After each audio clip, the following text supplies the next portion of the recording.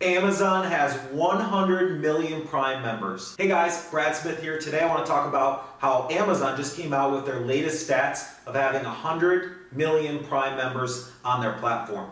And I want to tell you some things that we can implement to our business so we can be more like that. So tip number one, Jeff Bezos always has said that they always set their expectations high. And that's what we need to do for our businesses.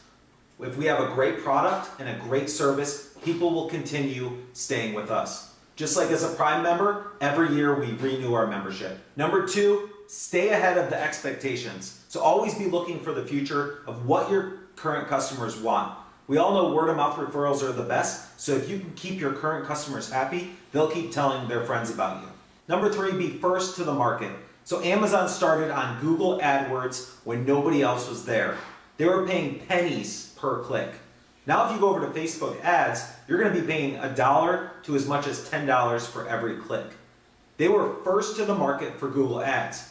So get your business ready for the next big thing where you can get really cheap clicks or great marketing for the lowest price. Tip number four, solve a problem. So Amazon solved a problem by making products that you buy every single day cheaper and easier to get. Now figure out what in your business you can do and what you can offer to solve your customer's problem. And then explain that on your website. Tip number five, easy signups. We all know if you go to Amazon right now, you can do a one-click buy and you don't even have to put your information in. That's what you need to set up your online business as. Make it super easy for your customers to sign up and pay you. A lot of people have PayPal forms, you have to fill out their address and all this crazy information before they can actually give you money. Make it easy for your customers to sign up and pay you. Tip number six, customer service. One thing Amazon does right, you can always refund and send back a product. And they make it really easy for you to do that. And they'll also get in touch over the phone right away.